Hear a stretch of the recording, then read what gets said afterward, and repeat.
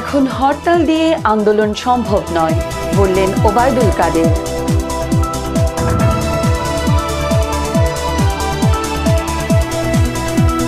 রাজধানীর তিন সড়কে রিক্সা চলাচল বন্ধ, মানছে না কেউ কেউ।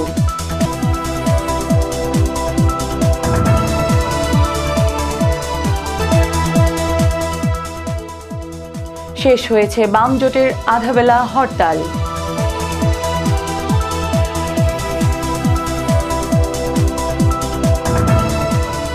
এবং সরকার বিএনপিকে ধ্বংসের ষড়যন্ত্র করছে বললেন রিজভি।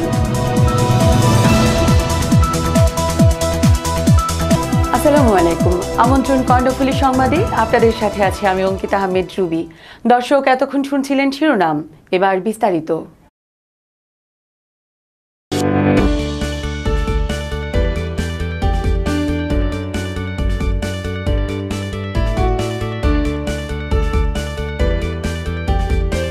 দালান নির্মাণের এক বিশ্বস্ত প্রতিষ্ঠান, সাইমা প্রপার্টিজ প্রাইভেট লিমিটেড, আপনার উপরে ওঠার সঙ্গী। দেশে এখন হরতাল দিয়ে কোনো আন্দোলন করা সম্ভব নয় বলে জানিয়েছেন আওয়ামী লীগের সাধারণ সম্পাদক ও সড়ক পরিবহন ও সেতুমন্ত্রী ওবায়দুল কাদের। দুপুরে ধানমন্ডিতে দলের সভাপতির রাজনৈতিক কার্যালয়ে সম্পাদক মণ্ডলীর বৈঠক শেষে এসব কথা বলেন তিনি। প্রেস ব্রিফিংয়ে এক প্রশ্নের জবাবে ওবায়দুল কাদের বলেন, বিভিন্ন নির্বাচনে দলের যারা নৌকার প্রার্থীর বিরোধিতা করেছে, তাদের শাস্তির আওতায় আনার বিষয়ে বৈঠকে আলোচনা হয়েছে। বৈঠকে সাংগঠনিক বিষয়ে যেসব আলোচনা হয়েছে, সেসব বিষয়ে দলের কার্যনির্বাহী কমিটির সভায় আলোচনা হবে।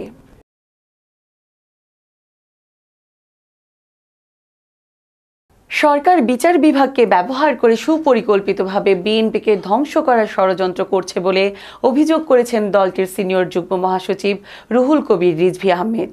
সকালে নয়াপল্টন কেন্দ্রীয় কার্যালয়ে সংবাদ সম্মেলনে এ অভিযোগ করেন তিনি।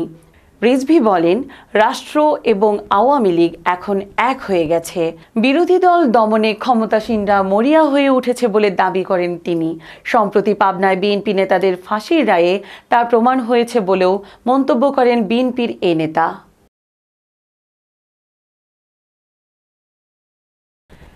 গ্যাসের দাম বাড়ানোর প্রতিবাদে রাজধানী সহ সারা দেশে বাম গণতান্ত্রিক জোটের ডাকা আধাবেলা হরতাল পালিত হল ঢিলে ঢালাভাবে ভোরে রাজধানীর নয়াপল্টন পুরনো পল্টন প্রেস ক্লাব, শাহবাগ সহ বিভিন্ন স্থানে মিছিল করেছে হরতালের সমর্থনকারীরা। তবে সকাল থেকে রাজধানীতে যানবাহন চলাচল স্বাভাবিক ছিল।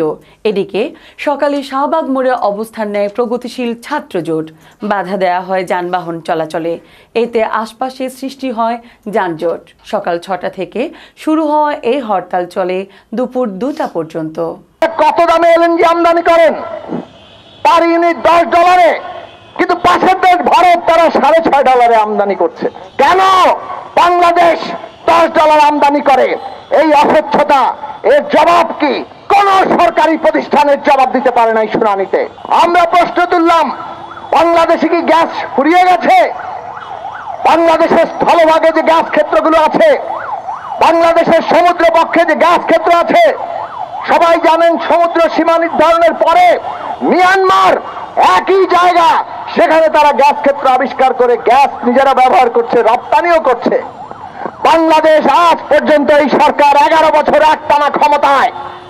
তারা এখন পর্যন্ত নিজেদের গ্যাস উত্তোলনে কার্যকর কোনো পদক্ষেপ নিতে পারল না। না স্থলভাগে, না সমুদ্র বক্ষে আজ সকাল থেকে রাজধানীর প্রধান দুই রুটের তিনটি সড়কে রিক্সা চলাচল বন্ধ করে দেয়া হয়েছে।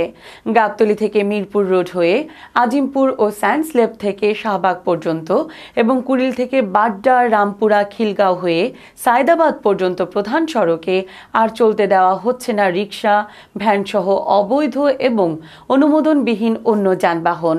তবে নিষেধাজ্ঞা থাকলেও এসব সড়কের কোথাও কোথাও আজও দেখা মিলেছে কিছু রিক্সা চলাচল করতে। সিদ্ধান্তের বিষয়টি পুরোপুরি অবগত না থাকায় এসব সড়কে রিক্সা চলছে বলে জানান চালকরা। পরবর্তীতে আইন মেনে চলার কথাও বলেন তারা। দুর্নীতির মামলায় হাইকোর্ট থেকে জামিন পাননি সাবেক বস্ত্র ও পাটমন্ত্রী আব্দুল লতিফ সিদ্দিকী। এতে আপাতত তাকে জেলেই থাকতে হবে বলে মন্তব্য করেছেন আইনজীবীরা। তবে লতিফ সিদ্দিকীর কেন জামিন দেওয়া হবে না তা জানতে চেয়ে রুল জারি করেছেন আদালত। আগামী চার সপ্তাহের মধ্যে স্বরাষ্ট্র সচিব সহ সংশ্লিষ্টদের রুলের জবাব দিতে বলেছেন আদালত। আজ বিচারপতি মোহাম্মদ নজরুল ইসলাম তালুকদার ও বিচারপতি কে এম হাফিজুল আলমের সমন্বয়ে গঠিত হাইকোর্টের দ্বৈত বেঞ্চ এই আদেশ দেন।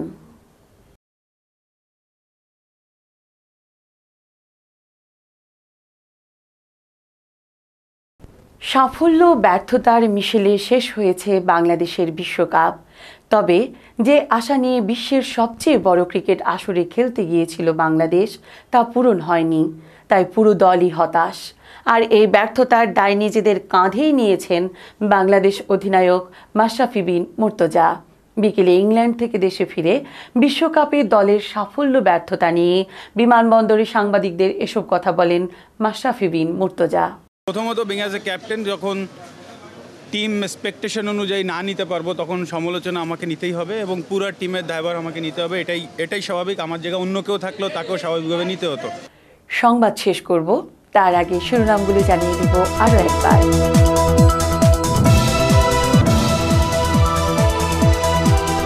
এখন হরতাল দিয়ে আন্দোলন সম্ভব নয়, বললেন ওবায়দুল কাদের।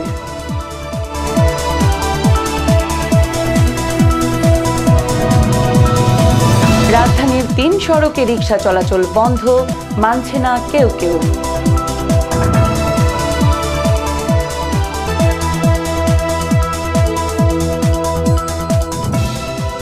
শেষ হয়েছে বাম জোটের আধাবেলা হরতাল।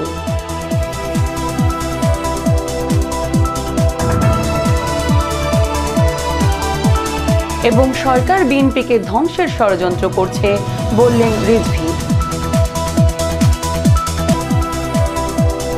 দর্শক, এ ছিল এখনকার মতো সংবাদ। সঙ্গে থাকার জন্য ধন্যবাদ।